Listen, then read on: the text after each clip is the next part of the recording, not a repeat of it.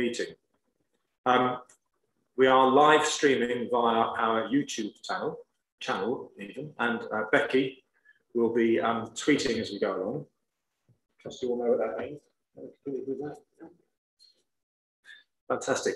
Um, will all participants at Town Council staff please mute yourself until I ask you to speak. Please use the electronic blue or yellow hand to ask a question. There could be yellow hand at the bottom of your screen found by pressing the reactions button. And for councillors present in the chamber, please raise your orange voting card or your hands in this case. Um, the votes will be recorded by Paul. Um, I'm going to try and manage this. You may have not picked this up, or you may have picked this up. This is my first time chairing this particular meeting. So um, it may be that I have to get really bossy in any discussion if we're running out of time, but I'll try not to. Obviously, we need a certain amount of business to get done in, in the time allotted. Um, how many attendees do we have registered, Rachel? Do you know at the moment? You're external to us here?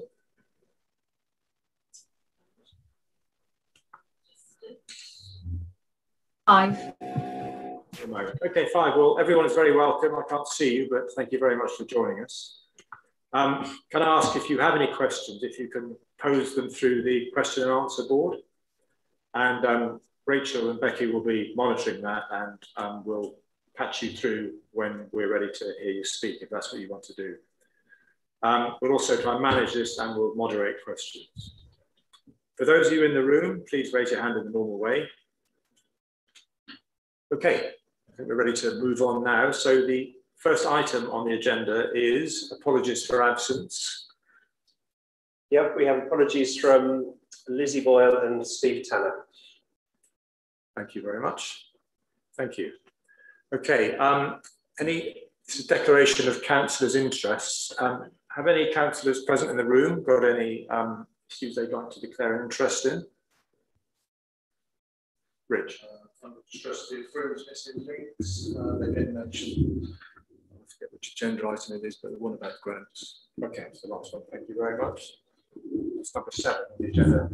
Thank you. And um, understand Scott is first hander. Uh, yeah, I'm a trustee for the Friends of the Mount Martin and Keyford Community Charity. Thank you, Scott. Anyone else? Um, that is Ali. Ali. Um, I'm a director of Fair Housing for Frome, which has got a grant application.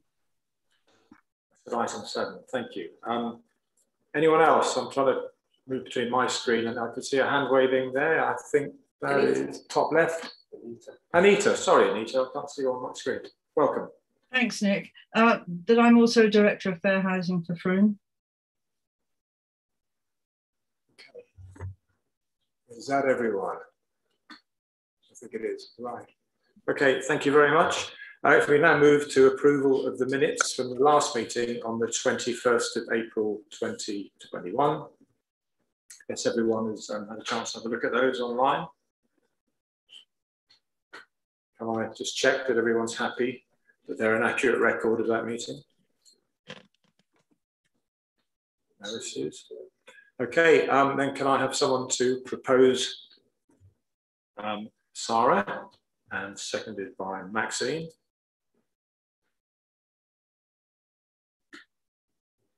And all those in favour now, please?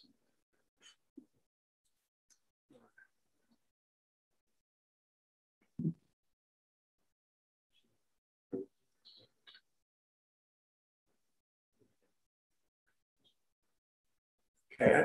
Anyone not anyone uh, voting, not voting in support of that or abst? Uh.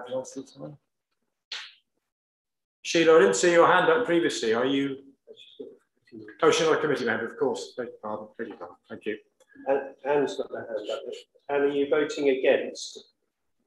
No, hand down. Okay. Right. Thank you very much. Okay, um, have we got any questions or comments from the public first? This is normally yes. we go, one second please. We normally go the other way around, we normally go with councillors first, but um, what we'd like to do is hear from the public who've come here to either in present or online. So yes, please, what is your question? Jill, isn't it? It is Jill, Hi, yes. What's your, I'm going to bring up the old chestnut of the open space in Foundry Barton regarding um, the general maintenance. The grass is being cut and kept tidy, um, but there are a few issues on the boundaries of that um, open space site. The brambles are growing very fast now, as they would at this time of year. And there are um, some hedging which is adjoining a neighbour's front garden, which she is cutting back because they are in, in sort of intruding into her front garden. Um, also, um, Rosie Gosling and myself, we have taken to planting in that open space on spare earth, which the council have not done anything to. So we have been putting our own planting in there and we are watering and maintaining it. And I haven't informed. Kate's responded and I can't do anything about it. I haven't, I haven't informed Chris Stringer on this, but I will email him and tell him what I've said to you tonight. Um, there's an ash tree there and Andy, our new mayor, was in that open space when I was and it has got ash dieback.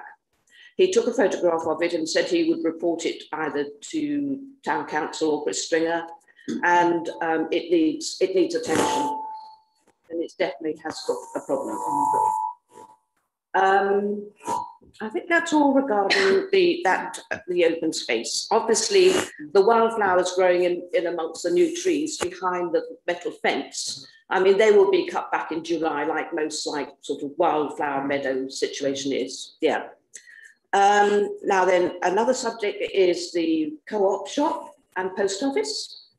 Um, I was wondering if you could confirm or deny the fact whether Royal Mail is taking over that shop. Okay. Is that, have you got a third item? No, Okay, can I just, first one, first of all, thank you for what you're doing. You, yeah, that's you're doing. It's great. What have you planted then? we have planted hydrangeas and we have planted perennials. And we know, we just hope that, you know, when we are unable to, because we're both old, uh, unable to look after it, someone else might do it, you know, or whether the town council could continue to maintain it. Um, I don't know. But it's a pity that they haven't included all of that area. Yeah, I mean, I, I guess you know probably better than I do some of the challenges we face. And I know Chris Stringer and his team do an awful lot of work around the town. And Yeah. the most successful projects quite often those where the community get involved. and Yeah. Do it themselves. I appreciate you may not feel like doing that forever. It'd be great if we could find someone else in the community to get involved in it. Yeah, The thing about the ash, you say Andy's already got a photo and he sent it. Yes, he did. Chris, you know, he took a photo and posted have sent it, yeah. So hopefully I, we. It needs to, it, that ash tree needs to come down. Okay, well, well, Chris will have got that, and, he's like, Hopefully, very dynamic, yeah. come and have a look at it and make an assessment of the rest of the area. Right, Okay, okay. thank you. Oh, I just thought of something else. Come on then, same subject or a third? Uh, a third one. Okay, can we just, can we just come to the second Come, point? come to the shop, yeah. Okay, uh, Peter, can I, Peter Wheelhouse, can I ask you please if you would mind responding to the question regarding the co-op and the post office situation? Yes, so we're, we're working with the landlords, uh, Maybrook and others to try and find a solution and ensure that, that that post office operation can continue. I'm not able to say any more than that, unfortunately, but uh, certainly it's something that we're working on with, with the landlord. Thank you, Peter. Can I, can, can I interject there? At the back of the shop, there's a notice. There's a public notice displaying the fact that, sorry to cause any inconvenience to customers due to the temporary closure of the post office. Now, I'm hanging on that word temporary, and I just wondered if Royal Mail um, had was in favour of opening up as a post office. Peter, would you like to respond to that? Well, well, we understand that Royal Mail, sorry, the post office have, have been advertising the opportunity for somebody to um, to take on that post office counter. Uh, and uh, as I say, the, the, the landlord of the property is uh, uh, working with um, the post office to, to try and find a, a solution to that. Uh, I, there- there's nothing more to to uh, to say at the moment, I'm afraid. Thank you, Yeah, Peter. Can yeah, I say I, I do understand that, but you know, with the townspeople cannot go to Portway or Fromefield. Can, can I say, uh, as one of the Yeah. market ward councillors, as long Yeah. as Mark, we know how important that Yeah, office is. to the absolutely, town centre, the absolutely. People. And I know Peter is doing his very best. Yeah, The okay. Landlords are very keen, so Right. everything that can be done, I think. Yeah, right, okay, accept- accepted. The Your third third. item was, was there any money left over from the Foundry Barton money that was left from Persimmon and Barrett from the- when the development was finished? We were allocated, you know, a lump sum, I don't know, but maybe somebody else. but whether it's all gone or whether it's gone into a, into a multi-pot, I don't know. Off the top of my head, Jill, I don't know, but you're right, there, there was an earmark reserved for it. Yeah, Um, I, I can check that.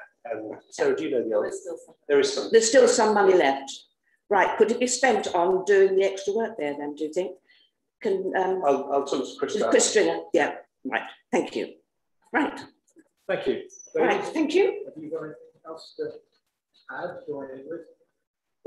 Want to pass the microphone? Are you Margaret or Sue? Sue, sorry, Sue. Sorry, Sue. Sorry, sorry. Just- Um, just because of COVID last year, I, and I was very poorly as well. Um, but I'd like to thank you for my card you sent me. You know, be grateful. and I do go along the meadow quite a lot, Rock Meadow, and I see a lot more seats along there now. You know, both sides, which is brilliant. Because I walk along there quite a lot. So thank you very much for putting that there. Thank you. Thanks very much indeed. I'll leave that back to Chris. That's great. Our public spaces are lovely at the moment. Um, right, were there any other um, questions, Rachel, from anyone? Any other attendees? Members of the public? No? Okay. Um, Frome Town councillors, anything from uh, fellow Frome Town councillors?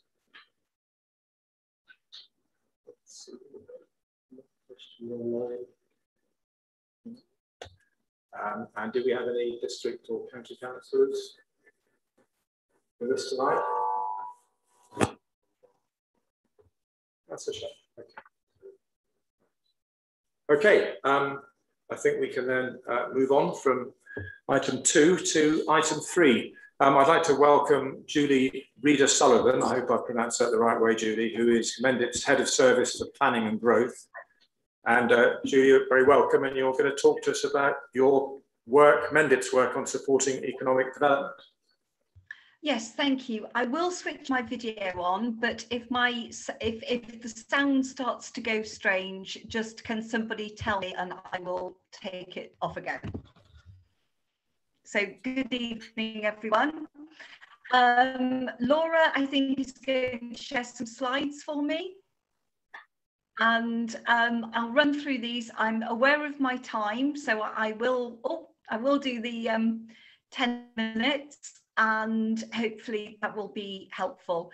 In that 10 minutes, I very briefly cover what's on this opening slide.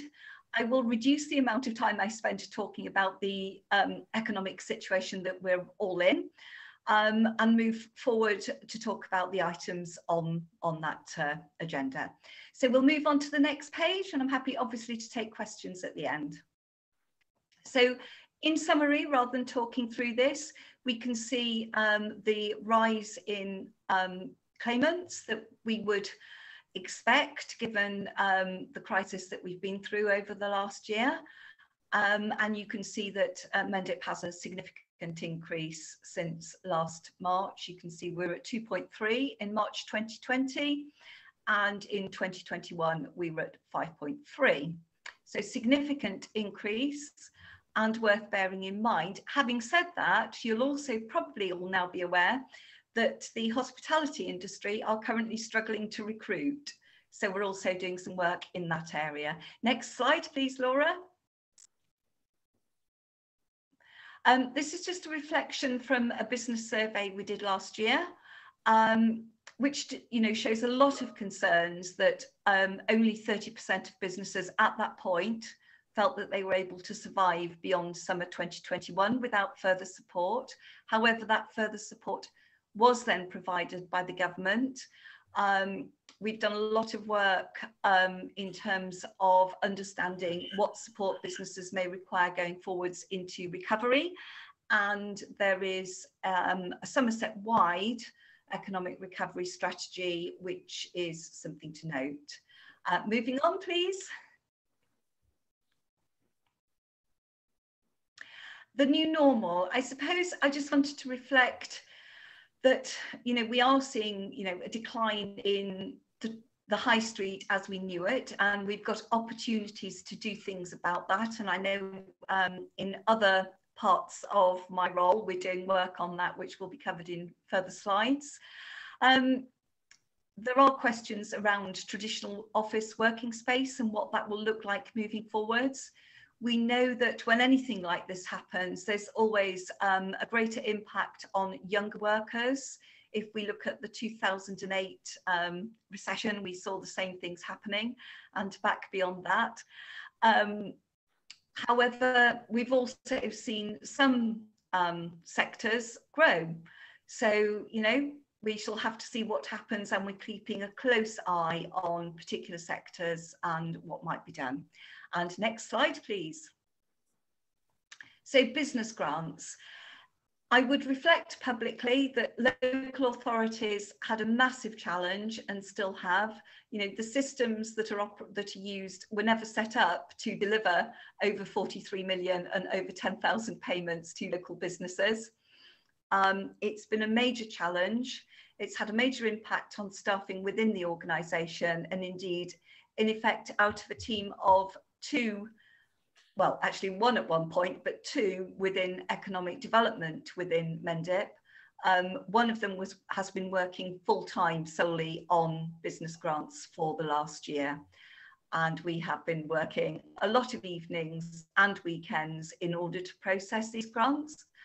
Um, it, it, has been a massive challenge. I'm aware that there are some businesses that will still be saying that they're waiting for money.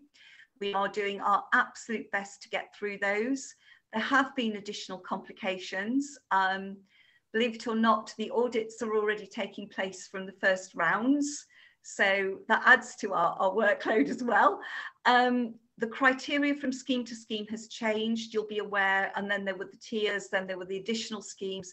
Recently, the government changed um, if you like, the evidence requirements and put in some additional security checks that had to be undertaken for each business. And that severely reduced our ability to make automatic payments to businesses and therefore has um, slowed the process down. But we also have to understand that those additional security checks are important. We continue to work on this and will continue to provide updates as we can. Next slide, please. Over the last year, um, not the right time, um, but we have established a, a business, the Mendip Business Hub. You won't have heard a lot about this as yet. Um, however, it's an opportunity really to bring together all the needs of businesses into one small team. Um, we did hold our first event, um, which was an agents and developers forum. This was to allow, um, from a planning perspective, all the agents and developers to talk with us about some of the issues we're currently facing, for example, to do with phosphates and all sorts of other um, issues that, that have arisen. Um, it, it, we are developing the process so that we can coordinate inquiries to the business, business hub and again, more action will happen moving forwards on that. Next slide, please. Um, a few things. There's a community-based retail platform which is now live. This is My Mendip. This is something that we've undertaken in partnership with a community interest company based in the Mendip area. Um, this is now available. It incorporates online purchase and a click and collect service. So we are promoting this to businesses as another channel for them and as an opportunity for them to network with other businesses. The tourism strategy, um, the objectives have now been agreed with the strategic tourism group and there is a representative from each, each town council on that group and obviously massive links to economic recovery. We're developing a small tourism grant, which more information will follow on. And we have over the last, well, in October last year, we signed a service level agreement with Visit Somerset, this means that 150 businesses within the Mendip area in effect received silver membership of um, Visit Somerset and we're coordinating um, marketing and promotion of the district across the district through this. Um, Visit Somerset have a massive following and it's a really fantastic opportunity for us to promote our area. We've also um, just taken through our cabinet process the creative Mendip strategy. Um, this is again looking at clearly we know the impact on the creative sector throughout the last 15 plus months. Um, and this is an opportunity to provide some additional support for that sector. It's a very small amount of money in terms of the grant. Um, however, it will be distributed um, through each, each part of the district so that there's a fair distribution. Next slide, please, Laura.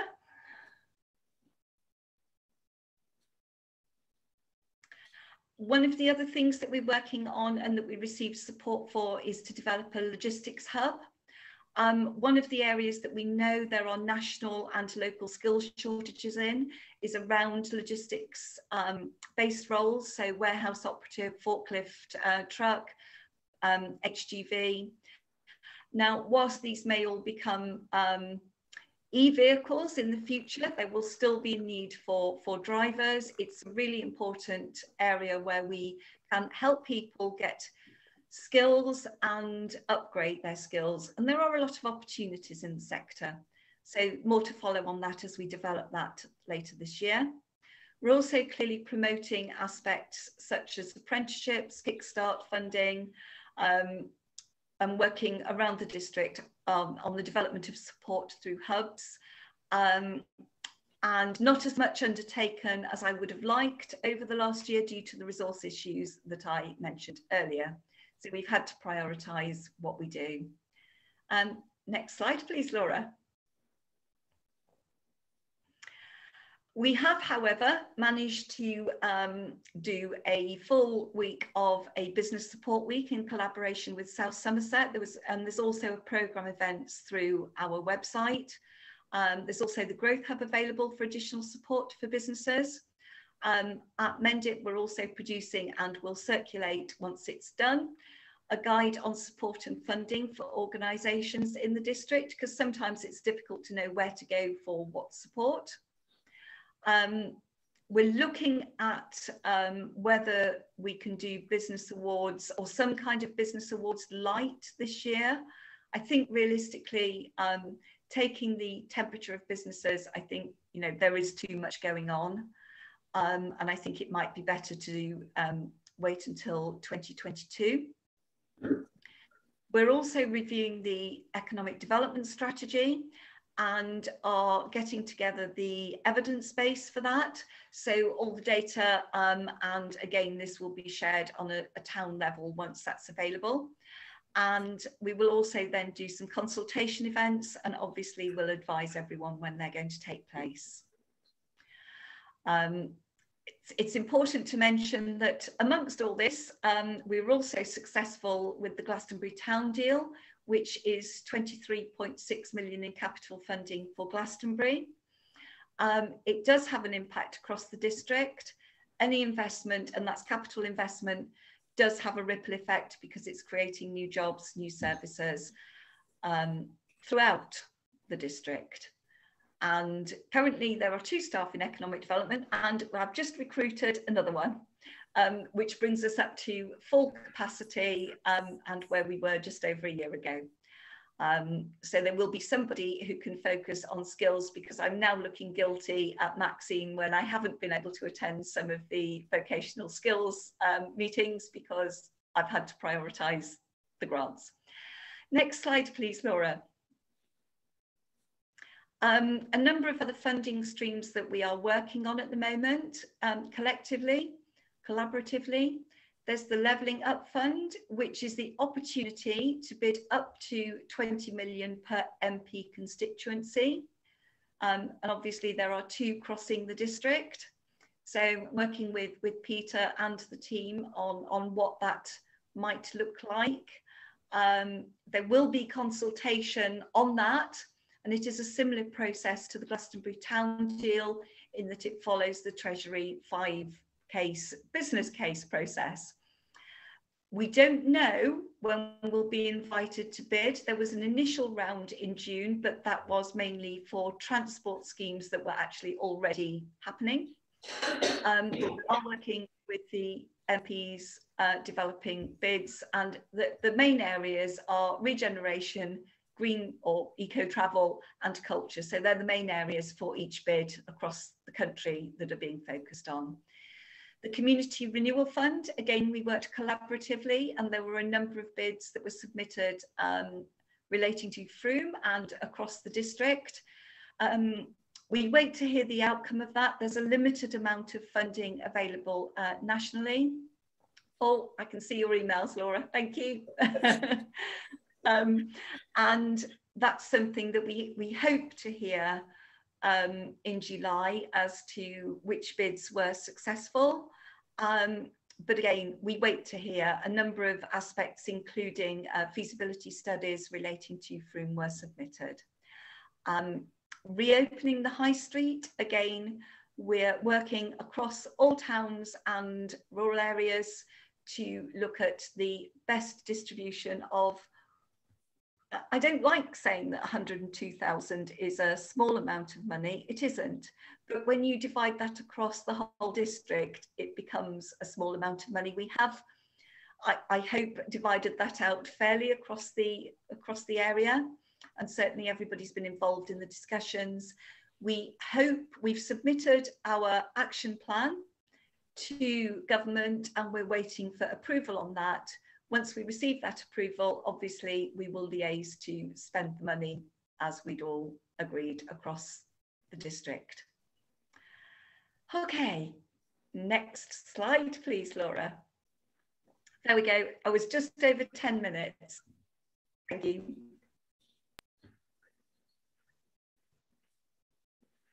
Okay, Julie, thank you very much indeed. A very comprehensive uh, set of slides. Thank you very much. Um, I've got a number of questions, but um, before I come to those, is there anyone who would like to ask questions for that presentation, please?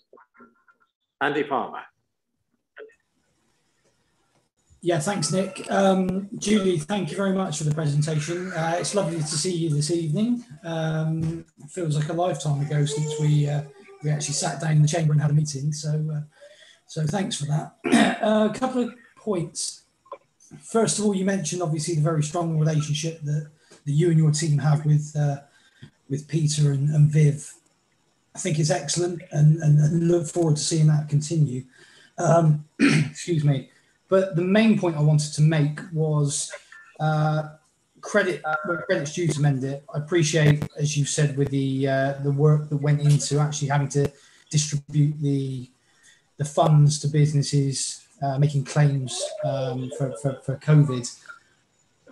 The experience that, that, that, I've seen from businesses I've spoken to and, and, and dealing with, with, with it through my business as well, it's been absolutely fantastic. Um, the claims process was really, really straightforward the application process. Um, and the funds were, were paid out really, really quickly. And I think I think Mendip actually really need to take some some some some credit and, and, and thanks to from Frome Businesses for, for the way that that was actually delivered. So uh, if you can feed that back, that'd be great. I will do. Thank you. Randy, uh, anyone else? Maxine. Thank you. Uh, lovely, lovely to see you again. Um, thank you for everything that you, you've been doing. I know it must have been an incredible challenge in these times, as it has been for all of us. Um, what I'd like to ask you is is there anything being put aside for businesses to do with mental health? Because we know that that's a really big factor. It's come up in the vocational training group. Um, people trying to continue or get back into the workplace and maybe feeling vulnerable or anything like that. So what I wondered is whether there's anything put aside to support mental health. Thank you. Not directly from a district perspective. However, um, there was something put forward within the Community Renewal Fund bids that was county-wide. and also the county-wide business cell meeting, um, we looked at what was being done to support this in Devon, and we're looking at whether we can bring that model into Somerset rather than reinventing the wheel. We are meeting tomorrow, so I might know more on that. Yes, it is Thursday tomorrow, isn't it? Yes, tomorrow. Um, so I might know more on that tomorrow, but yes, I'm well aware, I'm aware of, of the issue. Thank you, Max. I've got Rich and then Paul next. Rich. Hi, Julie. Can you hear me? Speaking to the yeah. mic, Rich. Okay. not sure if I can be heard or not, but uh, hopefully so. Thank you for the presentation. I'm particularly interested in the levelling up fund. So if uh, if and when that that comes about, I'd like to know more about that. That was really interesting. And uh, I've, I've just got a question. You're, I know you're, it might not really be you because I know that you're dealing with really mostly the economic side, but planning and growth. I've fielded quite a few complaints recently about Mendip's planning department, and I understand you're having staffing problems. Uh, are we any closer to getting some uh, some appointments there? Do you know? Uh, if not, could you uh, sort of urge uh, Mendip to kind of appoint people fairly quickly? Because I understand that this is causing quite a logjam on applications, which of course would be a knock-on effect, a negative knock-on effect for the economic growth. So it, it, may not be your hat, as it were, but uh, you could pass that on. Uh, it's causing some issues at the moment. That would be really helpful. Thank you. Sadly, it is my hat. And so I will take responsibility. I have the whole of everything to do with planning and growth. Um, in terms of recruitment into the team, yes, uh, this week we've actually given given the situation at the moment within Somerset, I was concerned that we we might um, have problems on a permanent basis. Um, we have taken some agency cover in the interim. Actually, we've managed to appoint two new um, full-time, uh, one, one senior planner and one principal planner this week. Um, However, the phosphates issue is having a massive impact on the workload of the planners. The applications that we're now having to deal with, which I know you're part of the district, but you know we, we have to deal with everything, um, take um, an, an inordinate amount of time when they're being taken forwards. Um, with what the ecologists have to do, um, what the planners have to submit to ecology, what the agents have to submit to ecology. So the answer is yes, we've managed to recruit this week. We're working on it. We're doing everything we can. And hopefully that will improve. We have managed to get the validation statistics to um, a level of which, at which I'm much happier. So applications are now being validated within four days at the moment, which gives the planners a lot longer to be able to um, resolve queries. Um, so hope, yes, you will see an improvement and we have recruited this week. Okay, thank, thank you for that. It's very useful. Thank you. Thank you, Rich. Thank you, Julian. Paul, Paul. Uh, thanks, Nick, and thank you, Julie, for your, for your presentation. Um, it sounds like Mendip are, are, doing lots for economic development in, in Mendip. Um, I just wanted to ask really, um, is that uh, work being done in line with Mendip's uh, econ, uh, sorry, their green agenda, if you like, their ecological agenda? Um, it's as, as you I'm sure you're aware, some some people might argue that economic growth is actually a problem um, environmentally. So I wonder really how that's being tackled um, at Mendip, and particularly uh, one thing I noted uh, with regard to your um, encouragement for uh, tourism. are you encouraging visitors to, to travel by by uh, methods other than using the car? In as much as we can, and indeed one of the strands of the strategic tourism group is all around um, multi-user paths, promoting our walking and cycling routes. And I think, and Peter will have to come in on this one, um, we've also done a lot of work around walkers welcome within that group. Um, and I think Frome have led the way in helping other parts of the district do the same. That, that certainly is the case, and, and uh, Emma Parker, who has been so involved with our Walkers a Welcome initiative in Frome, has been sharing her experience with uh, colleagues across the district and uh, enabling them to, to follow in our footsteps, literally. Uh, so uh, yes, we, have been working very closely with, with district colleagues. Thank you. Thank you, Paul. Thank you, Peter. Thank you, Julie. Um, Rob. I have to unmute. Sorry. Thank you. I just wanted to come back to you, Julie, on on on the first part of Paul's question, which is really how much emphasis does Mendip put into um, encouraging businesses to to go down, as it were, a green, sustainable route, um, rather than just coming back in any old fashion? Um, one of the things that I, I suppose the answer is over the last year and a half, I've just been focusing on helping them stay afloat, if I was to give you a very honest answer. Um, moving forwards, when we're developing, as I talked about the new economic development strategy, then we will ensure that there is a focus on doing that sustainably. Um, in the past, before, before we went into lockdown, I was working with a lot of um, local businesses on how they could do things in a better way and that's about promoting it to businesses in terms of both saving money and being more sustainable.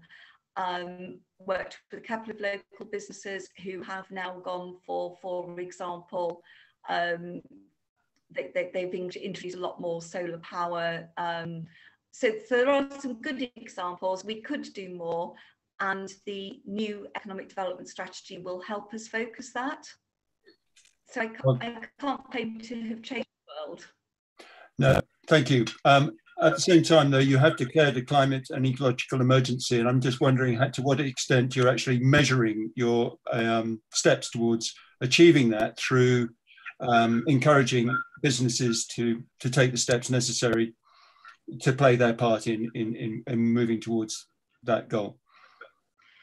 Again, when we do things like when we did the um, tourism strategy. Um, we have to do a, a climate change um, assessment, a risk assessment to look at the impact of that. When I'm presenting proposals, um, we do look at the, the climate impact, so that's all assessed.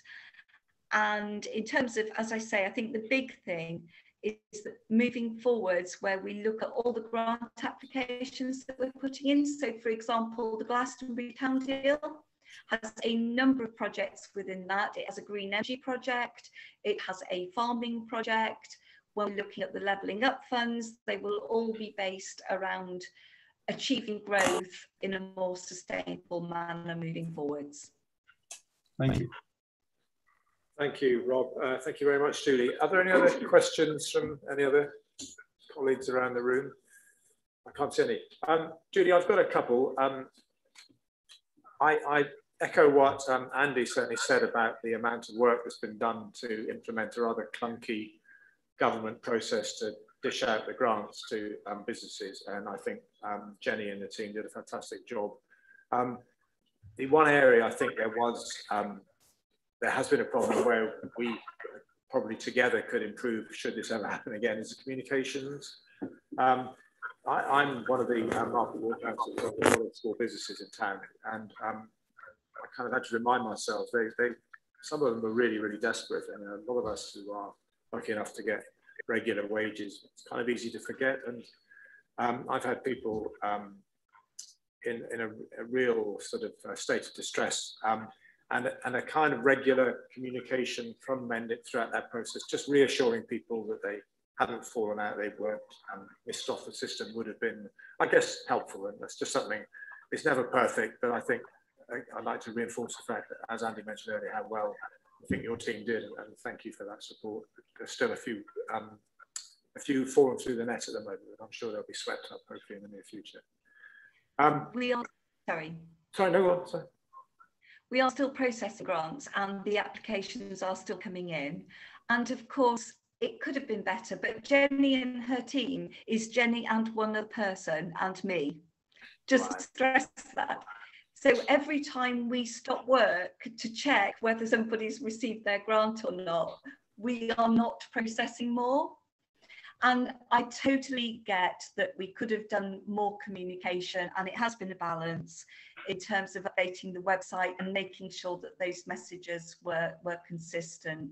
It's really hard to keep communicating out, and you are right. It, it's I have to say that my background is customer focus, and it's really hard when you're not responding to people the same sure. day or the yeah. same week.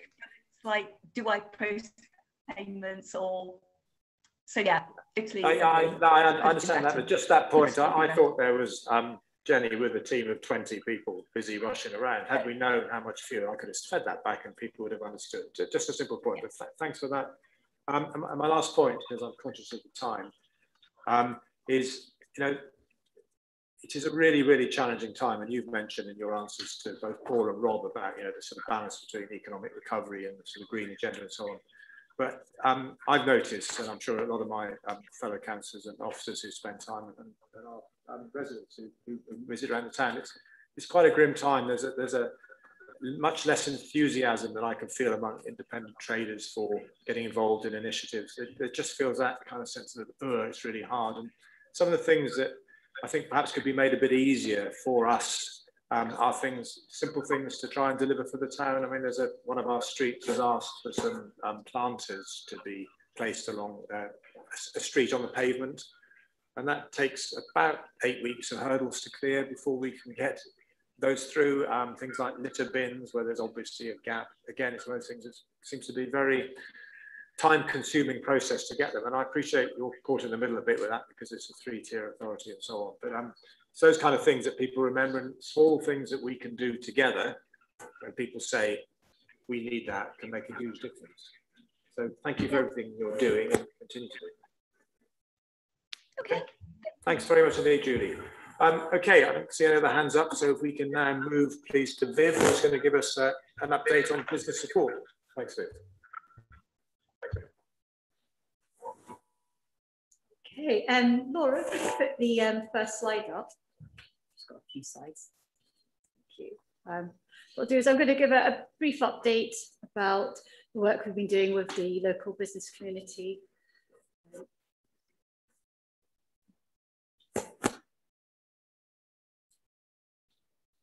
So um, one of the things we've been continuing to do in the last six months is our, our online networking and events. Uh, I think the lessons we've learned is we've, we are trying to make it a bit more interactive and we've started doing breakout rooms in them. We found that's worked really well as a formula. So trying to stick to maybe a 30 minute presentation and then having some breakout discussions.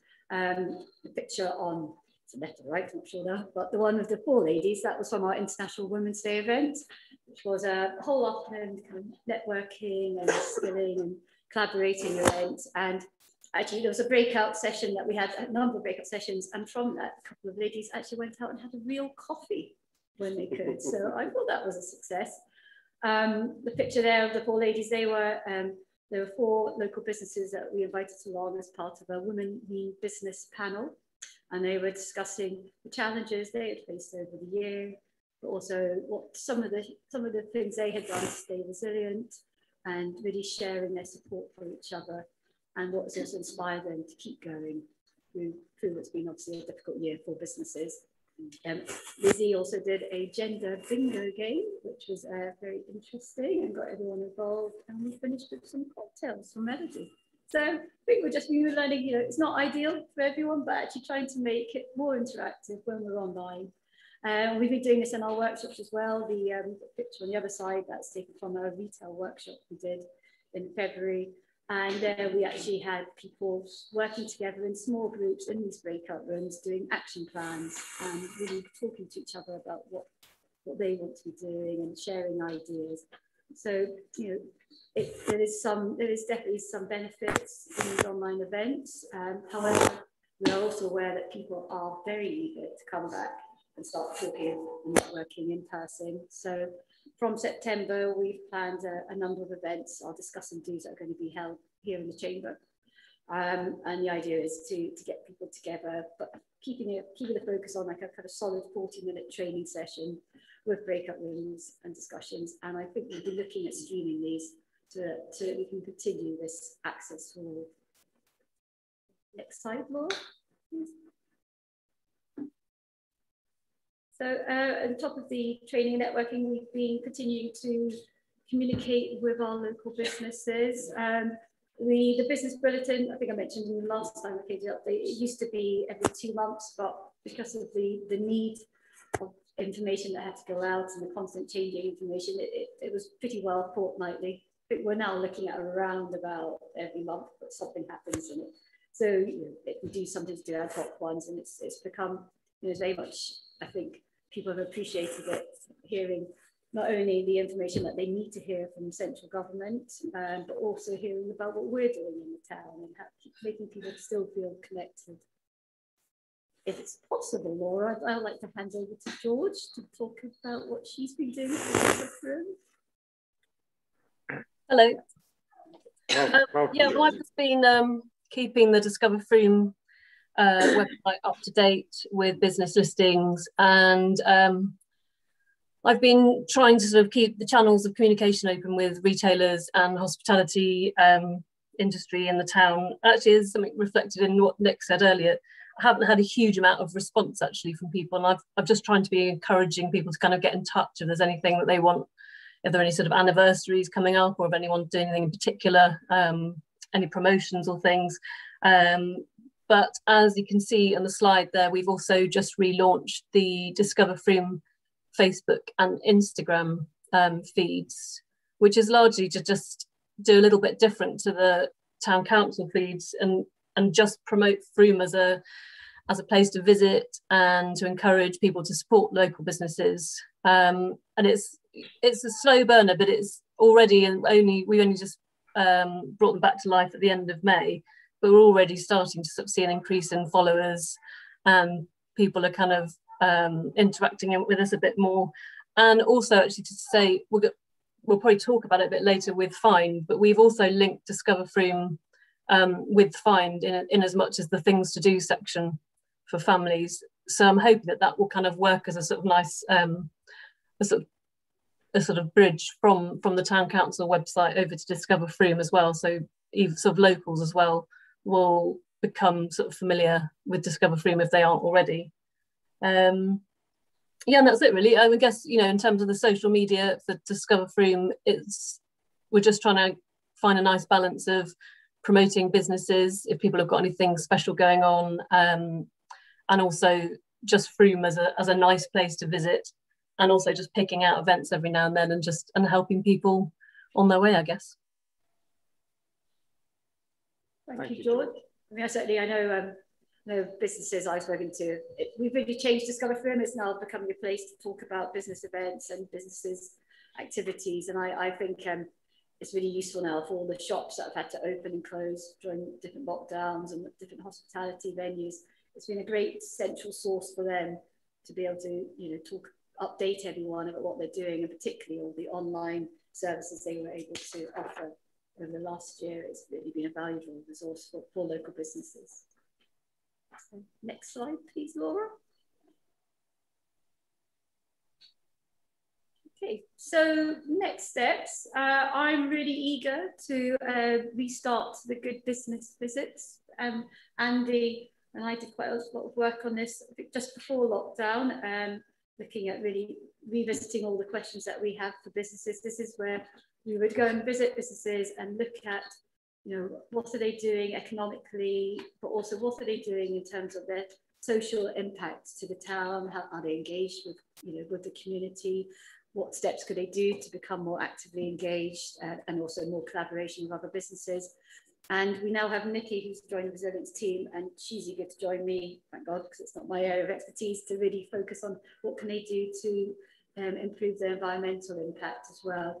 So we are keen to go out and visit businesses. We, we have we had created it into an online survey, but we just felt didn't feel right last year sending out to people, challenging them, and also we really missed just sitting down and listening to them and that opening that dialogue. So I think we're already beginning to. There's a couple of places we hopefully we start in July, so that's going to be exciting.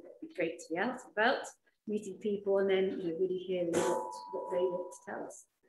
Um, the good business reviews are, are a great way of connecting with businesses around the town and certainly one of my focuses for, for this year as well is to really look at widening our reach.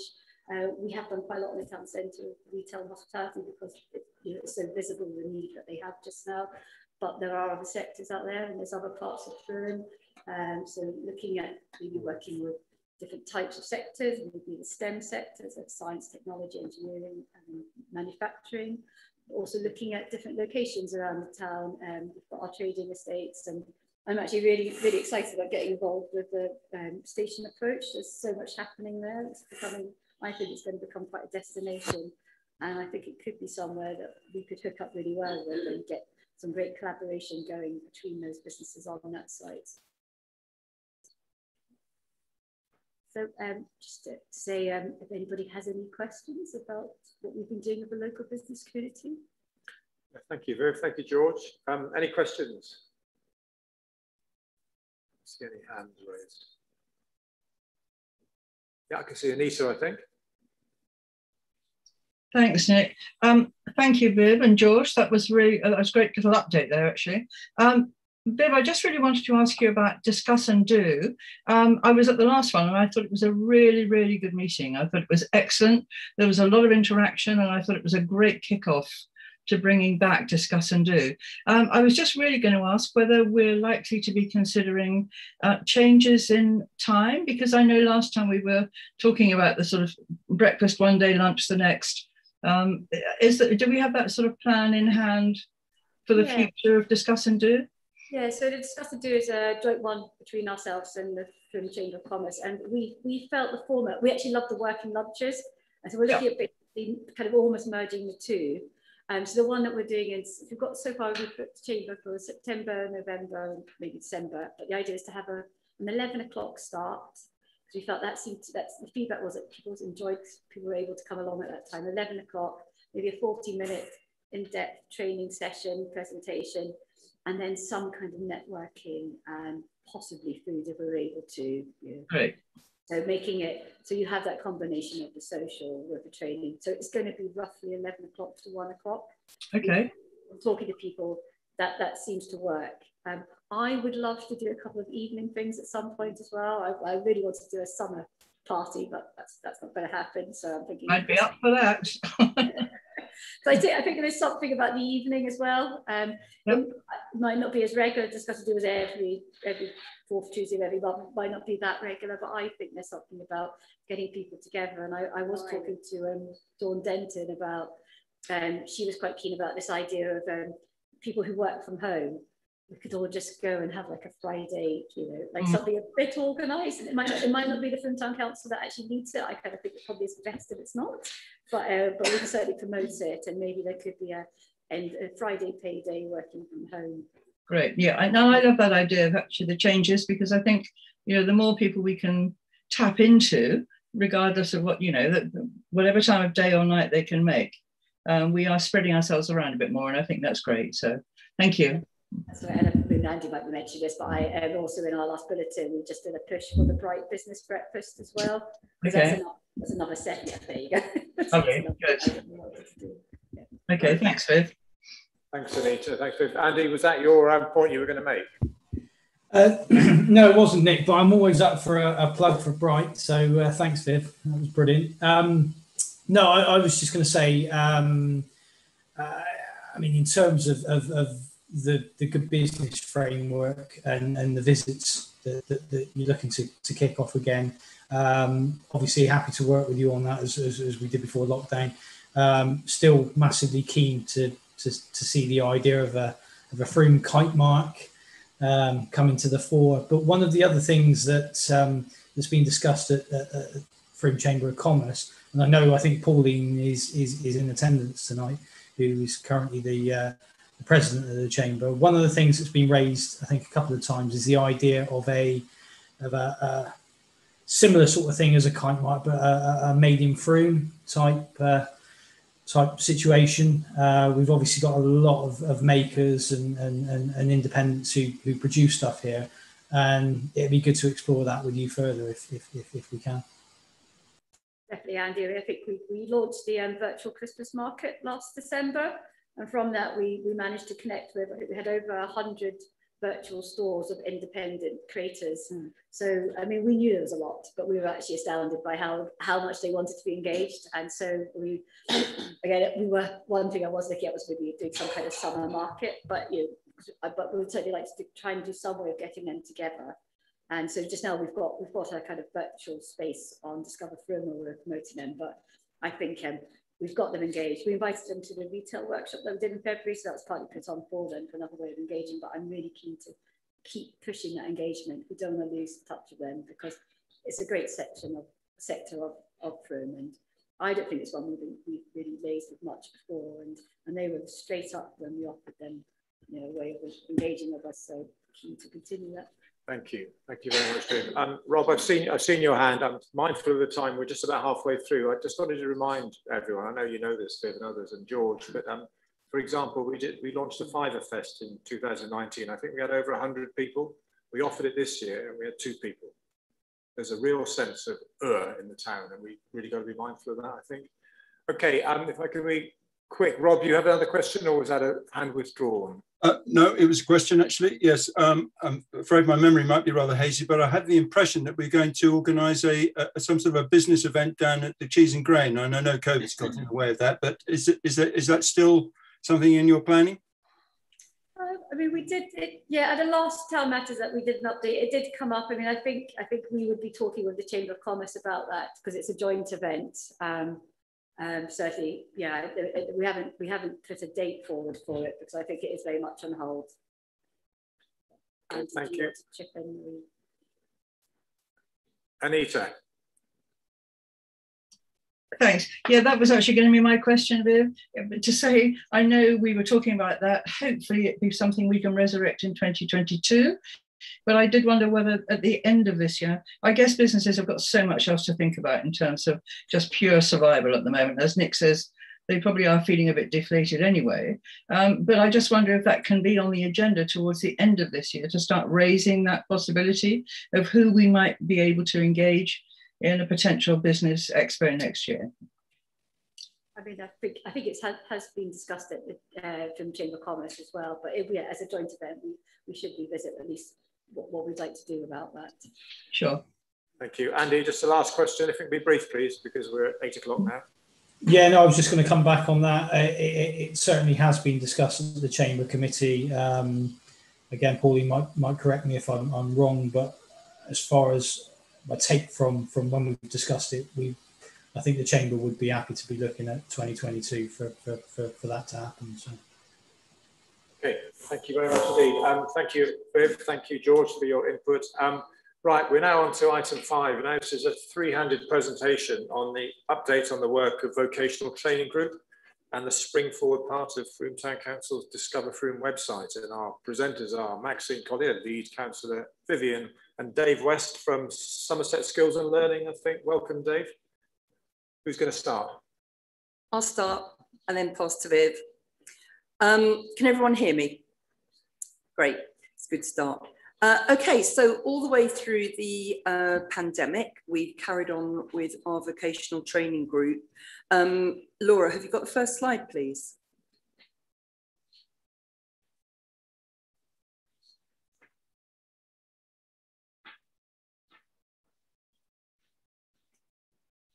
Thank you. Um, so we started the group, it's coming up for two years ago now. So it, it is quite extraordinary. And throughout the pandemic, the people that you see on the screen have all been part of it, plus others actually who, who have come and gone during the time. And one of the best things about the group is the way that everybody has communicated with each other.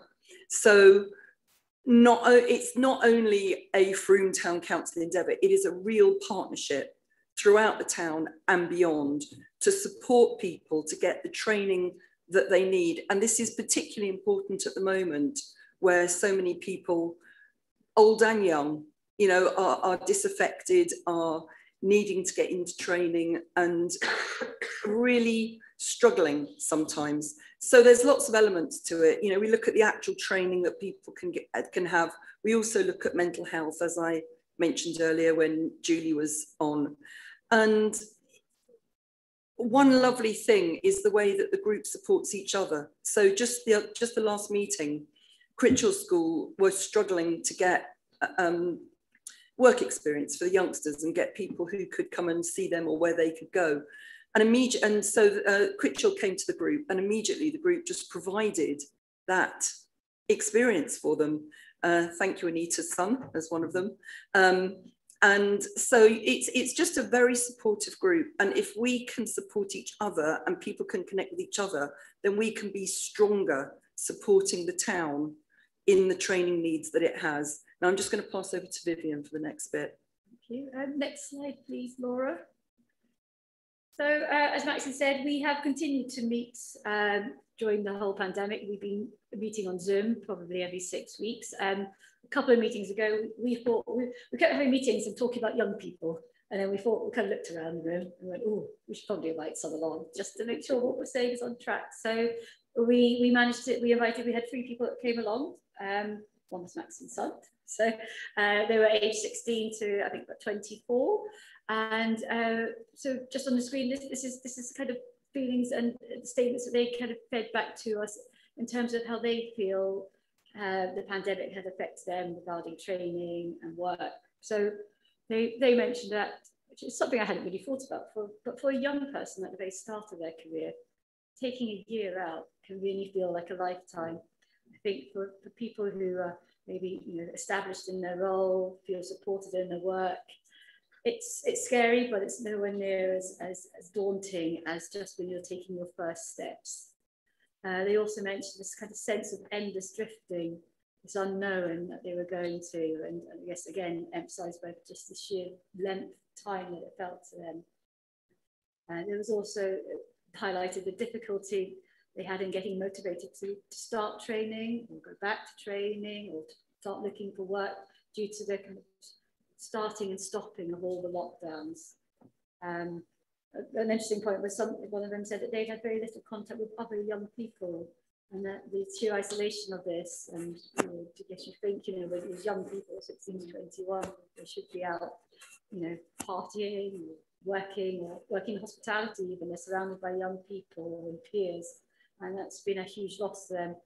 And there was this overarching sense of just, you know, uncertainty and you know, fitting in with what um, Maxine was saying about in well-being is this real, real sense of anxiety and, and fears about the future as well. You know, the, the cost of what this is going to cost for them and, and how that's going to affect their jobs, their taxes, just the anxiety that comes from it.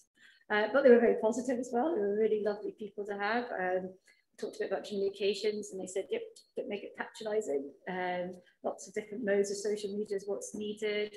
Uh, we, we said that we are looking at doing an event and they said, that's great. Don't call it a training event, you know, make it something that's interesting to them, something that maybe covers well-being or is part of, of something larger. And also, uh, which I thought was really interesting, is also has a platform for the young people to get together and talk about their issues.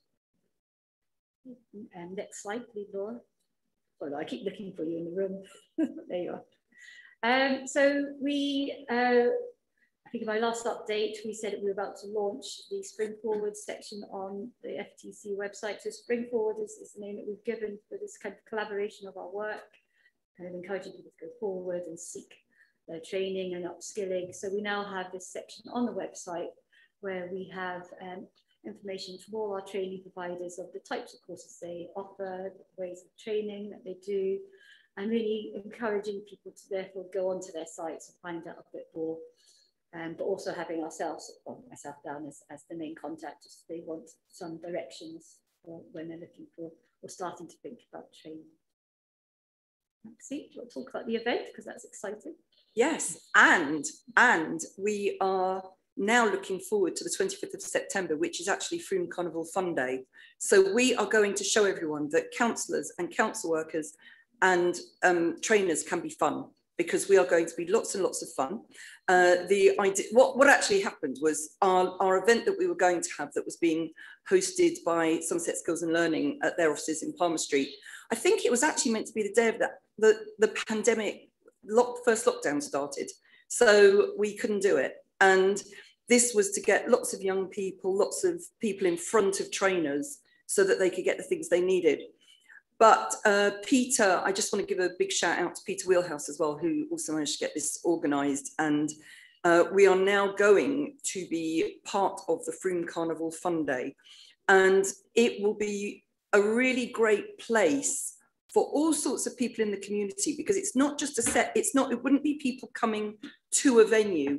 There will be people at the Carnival Fun Day who we will grab and get them to do all sorts of things like potentially maybe some nails or some beauty stuff, maybe plunging a toilet or various things. And in the meantime, the trainers will be able to talk to them and you know find out what they want to do and hopefully we'll get lots of people signed up who otherwise might not be getting training in the near future. Um, we are aware that there's a pandemic, um, you might have noticed. Uh, so we're aware that 25th of September you know, may or may not happen, but we are assuming it will. And so we've set up a working party again throughout the town um, to get ready for this fun day. And so watch this space because it is going to be really good. Back to Vivian. Thank you. Um, next slide, please, Laura. So uh, towards the end of last year, the Kickstart scheme went live. The Kickstart scheme is a central government scheme uh, to uh, help um, young people on universal credit gain, gain six-month work placement experience uh, with, a, with a business. Um, we worked uh, with local businesses to promote the idea and we also put it in our communications. Um, and I think what has been outstanding is, uh, is the work that Adventure have done in managing to confirm so far over 60 placements just in Frome alone. So Adventure were probably, I think they are the main uh, coordinators for the town. So they are providing the training, helping the young people throughout their whole six month placement, but also very much helping the businesses through the journey. And I think they've done a, a fantastic job getting these placements up and running. And we're also very delighted here at Frome Town Council because we have a new trainee ranger who has joined us through the scheme. So, um, I'm going to hand over to Dave West from Somerset Skills and Learning in a minute, but if anybody has any questions just now, just about what's been presented in terms of our work and vocational training. I can't see any hands raised on the screen I've got, I'm afraid. I mean, might, I mean, hopefully Dave's going to talk about how Somerset Skills and Learning have adapted their training, so that might get some discussion. we can do it at the end when the screen ends up. Thanks, Dave. Welcome, Dave. Thanks very much. Welcome. Evening, everybody. Thanks for having me along this evening. And just to echo um, what Maxine was, was saying in terms of the vocational group and how in the last two years it really has given us an opportunity to collaborate and work together, making new contacts with other training providers, being able to re refer to partners, which I think overall has been has been a huge benefit to, to Frome and the surrounding area. So we're really excited to be on board. We're really excited about the event. And thank you very much for being such a, a forward thinking um, town council to, to be running this group. Um, so I thought we'd use tonight, I'm going to be hopefully fairly, fairly brief, um, to update you on some of the, the updates from Somerset Skills and Learning. And for those that may not be familiar with us, to give you a quick overview of, of what we do. So if we can jump to the next slide, please, Laura, it'd be great. Um, Somerset Skills and Learning, we are a community interest company. And um, so our agenda is very much around supporting the community in which we serve to change people's lives through learning. So one of the ways we do that is through the um, Community Learning Partnership. We deliver the adult education budget in Somerset. So we fund organisations such as Mind in Somerset, such as Adventure, uh, Adventure in here in Frome, um, to support them to be able to deliver learning as an introduction to move them through their career development to improve their well-being, a number of things. So alongside the community learning agenda, um, we also offer a, a, very large range of qualifications, uh, apprenticeships, and traineeships as well. So very much around something for everyone, I guess, um, for the post-16 market. If we could grab the next slide, And um, we, you, you, you'll probably be aware that we moved to Palmer Street um, just before the pandemic struck. And I'm mindful some of you will have never stepped into the building. So here's a real quick video that we shot just to give you a glimpse of, of what's inside 16 Palmer Street.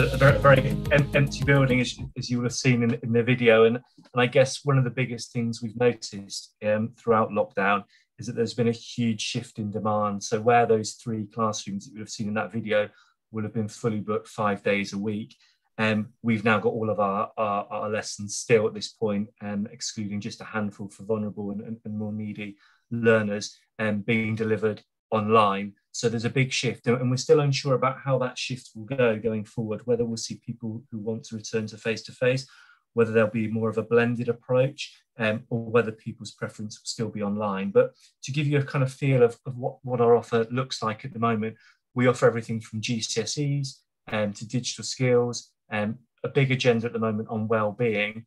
And I guess our USP in the marketplace is that, that most of what we offer is free. So around 90% of our courses are totally fully funded. So that's something for anybody who is needing to change career, needing to ch change direction, looking for a promotion, who needs to find a job, etc., etc. Um, so a few things that are new, if we can jump to the next slide, um, that we've developed in the last 18 months, because in some ways, um, having a shift in people learning remotely has given us a massive opportunity. Um, we've seen some of the largest uh, learner numbers in the last 12 months, and for example, maths last year, the maths and English GCSE, we had just over 100 people enroll onto that course, um, which was a record for us. We were really pleased with that. At the end of May, um, for this September, we're already on 170. So you can see how demand has increased so much for basic skills such as maths and English. And we've seen that huge, huge, huge demand. What's also interesting too is that we've offered that course across all of our centres and online. And 93% so far of those applications have opted for online uh, for a September start. So again, it's suggesting that people will be opting more for that distance learning route in the future. But the great thing is we've been able to offer lots of new courses. So there's now over 170 courses on offer that people can access from the comfort of their own home or from work. Plus, we don't want to move away from face-to-face -face learning completely. So one of the things we'll be doing next month is opening our new centre in Shepton Mallet to support the west side of Mendip. Um, it's a shop style learning centre on the high street where the tourist information centre was previously. And we're very much keen to ensure that our services are still accessible as they are on Palmer Street. So we don't want to move away from from face to face, but it very much will complement what we do online. Some new bits to um, to flag as well. The level three offer um, which is part of the National Skills Fund that you may have heard mentioned earlier in the year. We're really pleased to be able to offer the level three um, funded offer. So up until now, we've been able to offer level two qualifications fully funded.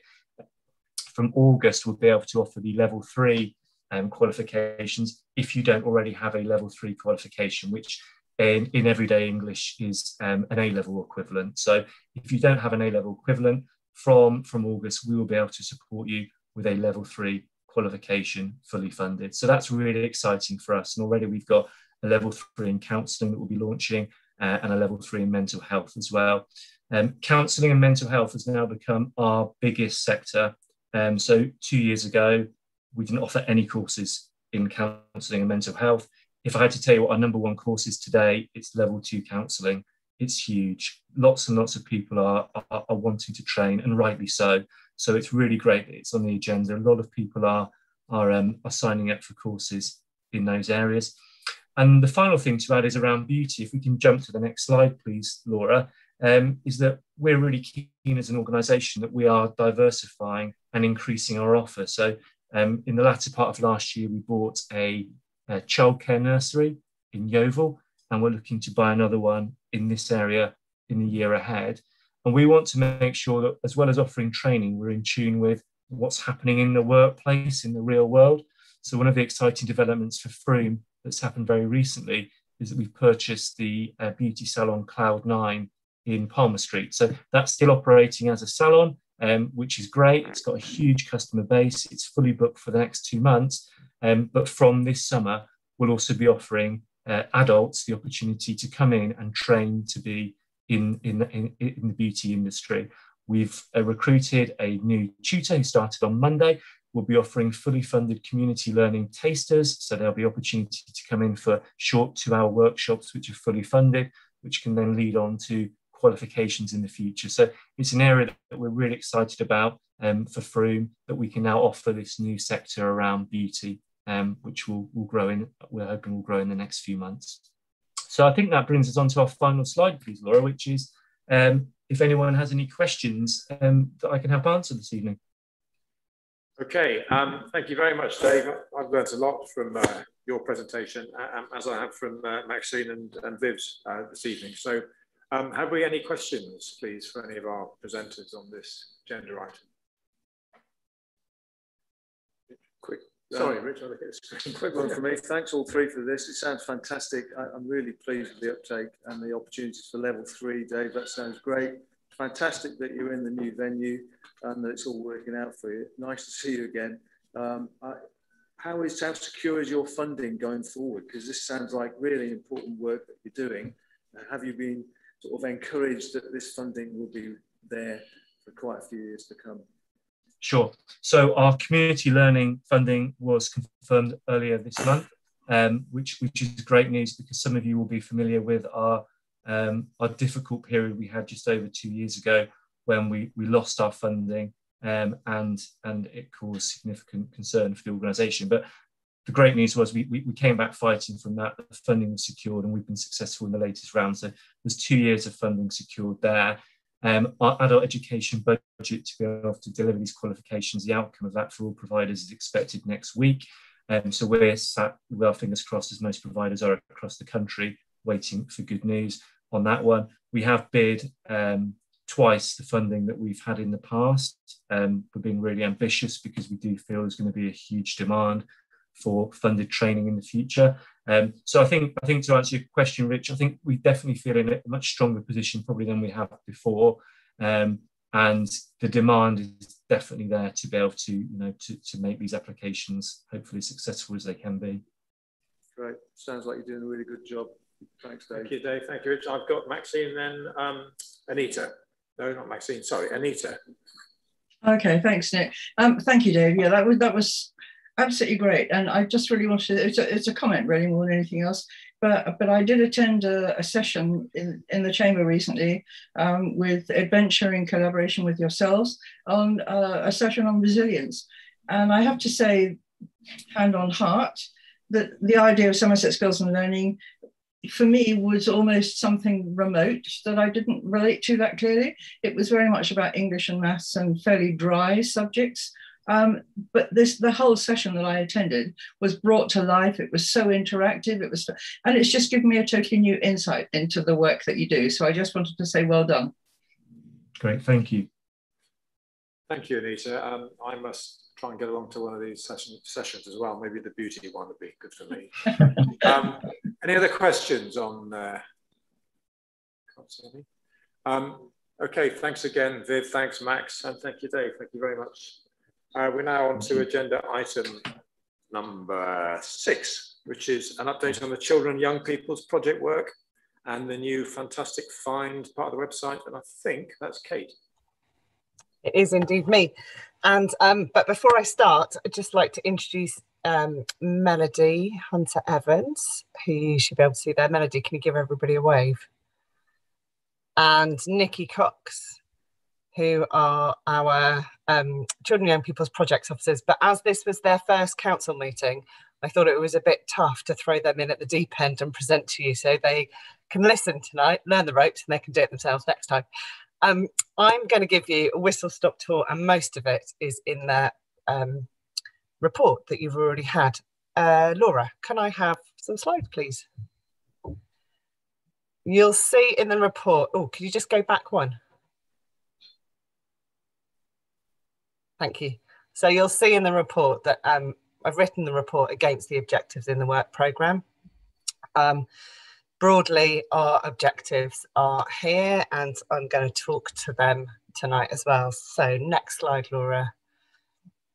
Running through all of our objectives are to continue to identify and fill gaps. And in doing so, it's not that we look to necessarily deliver the services ourselves. In fact, almost always we look to not actively not deliver the services ourselves, but work with our partner organisations to do so. So in the last few months, since we have um, redeployed our staff into almost entirely into to the COVID response and then come back again into our normal day to day and ridden two horses for a little bit, we've spent quite a lot of time working to, to find out what the changing landscape means to children and young people and their families in Frome.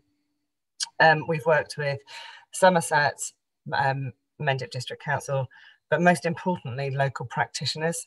So with head teachers, with Frome Learning Partnership, with mental health teams, and a whole host of other organisations. We are super fortunate in Frome that we have a really thriving third sector uh, and they've been able to inform this work. So the three significant gaps were actually similar gaps to the to the gaps that we were experiencing before we went into lockdown in March last year. Uh, people were reporting that they, they just didn't have access to information and signposting. Um, in terms of young people's mental health, there was a, a broad assumption that there was a that there was a gap in services for young people, and we worked with partners at the medical practice um, to bring a group of, of practitioners together to really, and with Frome College in particular, to better understand what services there are in Frome. Actually, we found a bit of a gap, um, but with some quick work with the county council, whose responsibility it is to provide mental health services and supports across the county, we were able to identify that they hadn't quite got to Frome in the rollout of the services that they were doing across the county. And so we've now got a really comprehensive offer for young people over the age of 11. We've taken on hosting a young people's mental health forum, which previously, so maybe about three years ago, had um, had run its course and there was no need to keep meeting. So we've started uh, that up again. And now our task is to look at uh, mental health support for young people under the age of 11, where potentially there is another gap. But again, it is the responsibility of the county council in their various guises to, to, to make sure we fill those gaps. So we'll be working closely with them.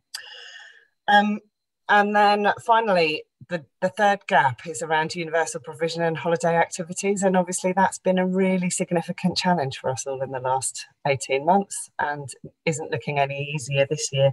But Melody's worked really hard with um, local organisations to make sure that they're making best use of the Food Activities and Hunger Fund.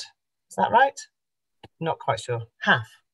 Um, holiday activities and food fund, uh, where organisations are given a certain amount of money to support young people over a certain period of time to participate in positive activities, but they also get fed. Um, and it is to replace the vouchers that families have been receiving for on uh, free school meals, uh, where they've where they've missed out on free school meals. Um, so we've worked quite hard. We had a bit of a gap at Easter. We didn't have very many organisations come forward. We're hoping that gap will be slightly closed. But again, actually what it does is it, it just further demonstrates the gap we have in Frome already. And we had it before the pandemic of organisations that are there um, and able to deliver services over the holidays and outside of school time for young people. Um, it's particularly important for us that we look to fill those gaps because those univer that universal provision provides uh, an early entry point into identifying any issues that families or children and people might be experiencing themselves, but also provides a really good opportunity for early help. And that the knock on, of course, of that is that families and young people are not reaching crisis and they're not needing the reactive services, which were way more expensive um, higher up the, the chain. Um, and we know that those services, so CAMHS, social care, etc., are really stretched. So their thresholds are getting higher and higher, and families are reaching a real point of crisis before that help steps in. So if we can provide free at the point of entry and universal services locally, um, and couple that with some signposting and some support, then actually what we're doing is providing a much healthier environment for our local residents, but also su supporting that capacity issue further up. So access to information and signposting, and I skipped over it because, next slide please, Laura. Um, this project was started by Jess Frankham, who's on maternity leave, and subsequently picked up by Melody, but enormous thanks to George, who has brought uh, a concept to life for us and worked really hard with her colleagues in the in the comms team and our, web developers to create a platform that is really fit for purpose. So what um, Melody ingested was gather lots of information and uh, we have over 500 entries now, over 65 pages and on the family information network directory find and you can find that on findfrome.co.uk I know that we've sent you a lot of information about that, and hopefully you've all had a little chance to, to trawl it. But if you haven't, please do. It is really, really intuitive to navigate, I think, um, and hopefully you will appreciate it. Uh, but you know, there are always going to be gaps, and we'd love to know about those gaps. So I know that George has continued to, to finesse that um, and what it looks like and how it reads and making sure that it's really accessible uh, Melody is continuing to gather information, and George has now amazingly got the two uh, websites talking to each other through Find. And so, uh, as she said earlier, Discover Frome can access information of Find and, and vice versa. Um, what we are looking to do in the future is to continue to build that as a resource, but to spend a lot of time out and about talking to people about how to access it but more importantly, how they can help other people access it. So um, I have a theory that a publican is a really great person to be sharing information. So of course our team will need to spend lots of time in the pubs in Frome over the coming months, uh, talking to them about, about the fact that this resource is there and they can signpost people that they think might need a little bit extra um, or know how to access the information. There's, there'll be a massive uh, comms campaign about it and Rachel and her team have been absolutely integral to the success or the beginnings success of this project um, and are supporting us enormously to think about how we take it out through schools, through nurseries, um, but also through events and lots of other opportunities over the, the coming weeks and months. Uh, so massive thanks to all of the staff that have been involved in, in Find. It was a mammoth project. Uh, next slide, please, Laura. So alongside Find, um, we know that it's really important for practitioners, but also the wider community to be able to benefit from training opportunities. So last year, just as we went into lockdown, we ran the and Learn Play training. Uh, next slide, Laura. And then this year, in response to the mental health issues that our young people were experiencing and the lack of information about what services were out there and how people could access them. Melody, um, with some help from the comms team as well, put together their starting conversations training and also a really handy hints and tips guide for parents about how to start conversations around mental health. But it's online and uh, people can still view it. It also has information from all of the services about how you can access them. And um, through the course of this work, you know, I guess we knew, but we hadn't shouted about it, that, that you don't need to go to a GP to get a referral to almost all of the mental health services that are available for children and young people in the area. Um, but people need to know how to access them. So we're hoping this is filling a gap. Next slide, Laura. So we have been, as you know, working on our play strategy for Frome with Children's Scrap Store. Uh, we're also looking at how we embed playing out through our community development work, but we have a particular focus on, on adult play um, and opportunities for adults to play alongside children and young people in lots of different ways. That we will be launching the, the start of this project properly um, at the picnic in the park in, in picnic in the meadow, I should say. Um, and that will come with a, a, questionnaire and obviously we will be out and about talking to people as much as possible. The hidden gems, that's good, that's good. need to move me on, otherwise I'll talk too much. Uh, the hidden gems uh, has been again a collaboration with with us and the, the comms team and, and Melody and lots and Nikki and lots of spray cans to pop all sorts of bits and pieces, um, games really, familiar games around Frome, with the aim of encouraging everybody to play. And it's really difficult as an adult to walk down the street and see a hopscotch and not do it. Um, similarly, we thought Snakes and Ladders would be great fun, and the Rangers have done an, another amazing job in the Showfield this year with, with the maze. Uh, and we will keep peppering those things through the town in the, in the coming months to encourage people to play more. Um, next slide, Laura. So we'll be spending the summer, starting relatively soon, out and about, promoting Find, but also talking to everybody about the play strategy and why it's important for us all to play. And this year, it's never been more important than any other year. Um, so this is just a, an example of, of the different places we'll be. We will be at events that have a particular focus around children young people, but actually we're super interested in being at events and meeting people and organisations that have a focus around adults, um, particularly with the play strategy, but also for Find, so that everybody can promote and share and signpost, and that will happen naturally and um, build resilience in our community. So the final slide, I think, Laura. Um, currently, Nikki and Melody are working on everything I've just told you, and they're starting to look at what our youth conferences might look like in the coming months. We're going to have two this year because this year's year eights haven't had the opportunity to attend a youth conference. We just managed to get last year's in I think, a week before the first lockdown.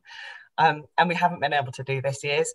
So they will be going into year nine at the college in September, and we've started conversations um, now with the college about what that might look like. And Melody and Nikki will be shaping that in the in the coming weeks with the college, so that we start to create something. You know, it's really important for us that every year eight group in the last five years has had the opportunity to attend the youth conference, that they have a chance to have their say, but they also learn skills for participation, they learn practical um, skills, and they're able to start to have a voice and to, to make a real difference in their community. They've also always got to vote on the um, PB events as well. So we will definitely be looking to do something similar in, in the coming months. And then, of course, next year we will have the next group of year eights in, in March. We'll be delivering a conference for them. But the hope is we will be much better engaged in the college and we'll be able to work with the college to deliver the year eight conference and that will reach our aspiration our one of our original aspirations of this acting as a transition opportunity between the middle schools and Frome College. Um, so that, I think, is that my last slide, Laura?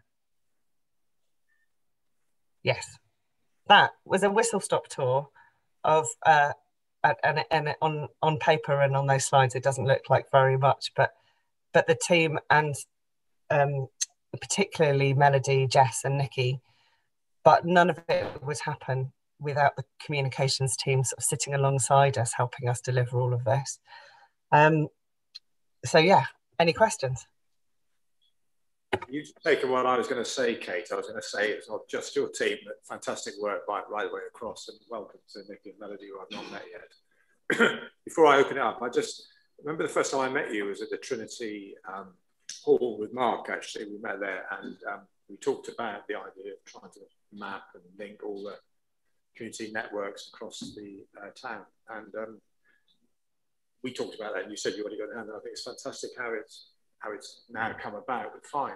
But I was asked by somebody, why is it called family rather than Frome?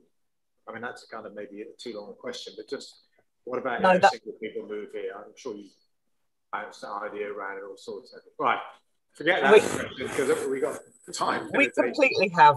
And actually, uh, so we've bounced it around in lots of different iterations, but originally our Children Young People's Projects offices were part funded by MENDIP and part funded by the County Council. That funding um, stopped on a possibly temporary basis during COVID. And so it's possible that we might in the future look to be sharing this with um, other areas across MENDIP or, or, further afield. So you would have Find Shepton or Find. Very find true. Fantastic. Great. Okay. Way ahead of me as always. Thank you very much. Um, right. I can see um, Rob and I can see Ali and Maxine. So I don't know who put their hands up first. Can we start with um, Ali, please? Yeah, hi Kate, thanks for that, fantastic. Um, well, yeah, we've also had our conversations over the years about mapping and uh, it's great to, to see that now happening, happened. But uh, what the plans to update that? So um, Find is going to be an ever evolving project, I think, for us. And uh, we're making sure, I mean, oh, actually, as soon as um, we, Melody and George sent out the information about Find, there was a that, that it had gone live, there were a, a flurry of emails from organisations saying, "Oh, could you just update our information about this or that or the other?" Um, so we will just make sure we look to do that on a regular basis, so we keep it up to date because it's only as as valid as it is up to date. Um, but you know obviously going forwards we would like to look at, at something that's slightly more sophisticated where organizations can update it themselves um, but that will be somewhere somewhere further down the line um, i think what it's really shown to us was that we knew there were lots of organizations working with children and young people but they're a real spread so they're small businesses they're cics they're not-for-profit organizations they're charities they're statutory organisations, and um, you know collectively that third sector is really very enormous in Frome. and uh, so yeah, there, there's a bit of a task in hand to keep to keep the momentum and keep it updated, but but we will, we hope. Okay, thanks, Kate. Thank you, Kate. Um, can I go to Rob next, please, and then Max, and then John? Yes, thank you very much, Kate. Um, what a rich feast. And actually, that's my impression for the whole of this evening. It's just been an extraordinary kind of um, set of offerings of, you know, the fruits of people's hard work. And um, yeah, deeply impressive. My question is, which is really more to my fellow councillors, but also to the staff, is, is that I have noted on occasions some of us, no names uh, mentioned, wondering what uh, we can show for our two years or plus as a new administration and um, feeling perhaps a little bit down in the mouth about just what, what that might look like. But I think this evening just goes to show that there's a huge amount that the, the, the town council is, is facilitating and making happen. And my question really is, well, how can we sort of demonstrate that to as perhaps a, a skeptical section of the public who might think that we're not doing anything very much at all. Thank you. How about Rachel answering that? Yeah. Um, can you hear me? Yes. Um, uh, basically, that's all of our work. That's everything that we're trying to do. And as you, uh, as you know, we do it through all of a, a number of, of channels and we can never do enough, frankly. It's an increasingly, you know, uh, ever, yeah, ever increasing, um, ever increasing workload, frankly, with all this amazing stuff that, that is going on. I actually do think that the town generally get it, and I think that generally uh, projects that we deliver, such as Find, are really, really well received. I know that um, Melody has lots of feedback, and so uh, maybe it's a perception, really, rather than a, an actual uh, lack of delivery. Thank you very much indeed, Rachel. Uh, Maxine, is it? Thank you. Whenever I hear Kate speak, I know why I love Frome and I know why I love being a councillor. Kate, you and your team are just amazing. And Rachel, what you do, you know, to support all of us is also amazing. So it, first of all, it's a really big thank you. Delighted to hear that the Youth Mental Health Forum is up and running because that's where I first met Kate. Um, before I was a councillor, I was on that, and it's really, really excellent to hear that's happening again. My my question um, is I know you do a lot, but could we have a couple of minutes on what how you include youngsters with additional needs in everything you do? And I know you do a lot, so just could you just tell me a couple of minutes on that? Yes. Now, um, so we work really close. I mean, as I said, we work really closely with all the schools, and um, in particular, a lot of our work is to um, and recently has been about how we can support children young people that are maybe not getting what they might out of the education system for whatever reason. Um, and we've had a really big focus on that with, with the schools. In fact, I've got a meeting on Monday with a number of head teachers. We've worked um, consistently throughout for the last four or five years with, with Critchill, um, who are our local special school, but really recognising that that all of the schools in Frome are inclusive and are supporting a great number of children young people who are um, they have who disabled children and young people primarily.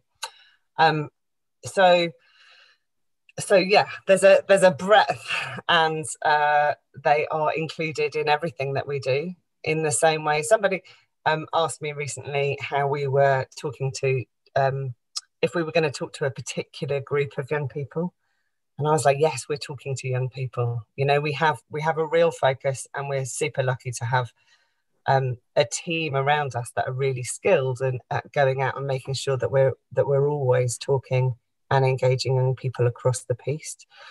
Um, and we know that there have been particular gaps in the past for disabled children and young people, and that would include children and young people with additional needs um, or a specific um, learning disability. So um, we've, yeah, I guess I can't say more than than everything that we're doing, and we are absolutely inclusive. There is definitely work to be done, and there are some gaps that we're working with the schools to fill in the coming months. Um, particularly, that's about working with the county council to make sure that their statutory responsibilities are being delivered locally and that the funding is being deployed in the right places for the right reasons. Thank you very much, Kate. Thank you, Max. Uh, John. Oh, no, it's just a really quick one to back up what everyone has said. Uh, I think that just seeing the, the things that you've spot, the chalk on the pavements, the, the cuttings and all that, the sense of playfulness you see around town, just really fantastic. And it's, it, it's great stuff. Just, just keep up that, that vein. It's so good. Thank you, John. We all agree with that. Um, and finally, Andy, on this subject, please. yeah, thanks, Nick. Uh, thanks, Kate. Again, fantastic presentation. Um, just a quick question: If we, as individuals, or if we come across, or I guess forgive the forgive the pun, if we were to find a group that that might qualify as somebody that, or as a group that would be good for Find, is it just a case of either contacting you, Melody, or Nikki, just to kind of hook you guys up? Yeah, definitely. If you can contact Nick, um, Melody and link people in with Melody, then she'll be able to ask them all of the right information and and get them on find. And I guess my final um, thought tonight is please, if you have any time to support any of the events that are happening over the, the coming months, then then do let Rachel know because then you'll be part of that army that will be able to share all of this information and talk to the town about the things that we're doing. Um, and that would be really super supportive. Thank you very much, Kate. Um, fantastic work for everyone. Thank you very much. Okay, um, our last item is the ratification of the grants committee decisions. Who's talking to us? Kate again. Kate. Oh, it's the twilight slot. Of course, it's me. I promise to be quick. Uh, Laura's got a slide for you. Um, this is actually for ratification. Um, so the uh, we previously agreed at a town matters, maybe a council meeting, that community grants going forward would be uh, discussed, assessed on their merit by the grants advisory group, and then Paul would make the final decisions based on on that information and their recommendations. So then they come to town matters for ratification. So this is a list of the organisations that have been successful in receiving funding. And there are three organisations in this round that we are proposing to write back to and um, ask for more information, um, offer an opportunity for them to have some, some help and support uh, through our programme of support for community organisations um, and welcome them resubmitting their bids in a future round uh, once they've they've done some work around their organisational structure or provided a bit more information that was missing. So, I, I, Paul, I'm not entirely sure how it works for ratification. Is it is it a vote? We need somebody to propose it, I think. So somebody to propose that we go to Sarah and second Maxine. And can all those in favour please vote? Can't the screen.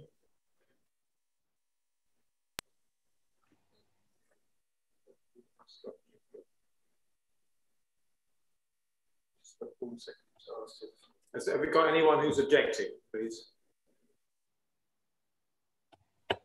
And any abstentions? That's good. That's unanimous. Fantastic.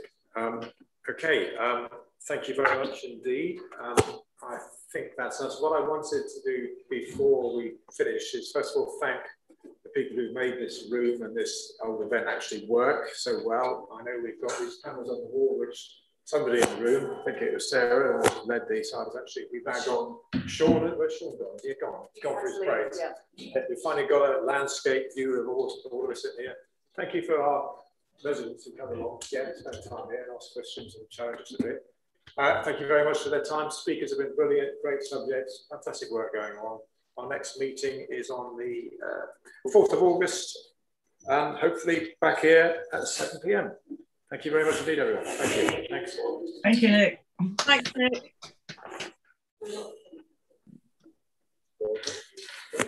Thank you. Thank you.